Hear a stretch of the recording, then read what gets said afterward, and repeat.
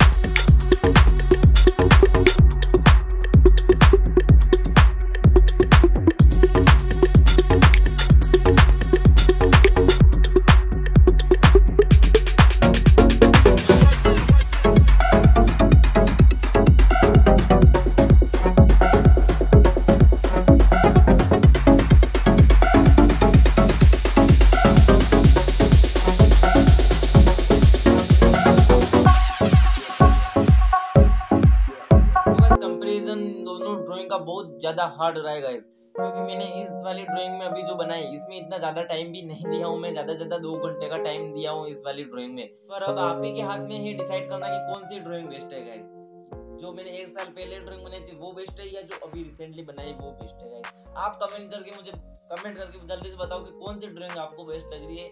मैं आप सभी के कमेंट की रिप्लाई करूँगा एंड टेक केयर मिलते हैं नेक्स्ट वीडियो तब तक के लिए बाय बाय